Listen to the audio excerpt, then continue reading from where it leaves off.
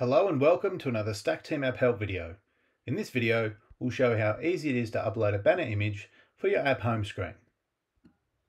Once you've watched the video, it'd be great if you could give this video a thumbs up, subscribe to our YouTube channel, and also hit the alerts button so you get notified when we upload new videos. Uploading a banner image for your app home screen can only be done via the app. If this is the first time doing this, you'll be able to click on the banner image and upload an image from your device gallery. It needs to be in a landscape image, which will be cropped at a 21 to 9 aspect ratio. To upload a banner image, click on the Upload Banner Image button. Then click on the camera icon, which will upload your device gallery. Choose an image, then click Done to the top right.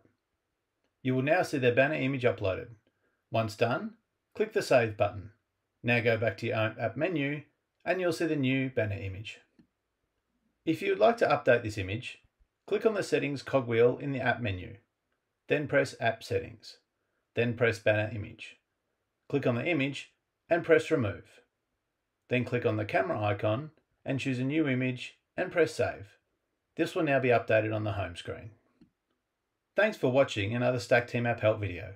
As always, if you have any questions about using Stack Team App or any other features, contact us via stackteamapp.com and our support team will be able to assist.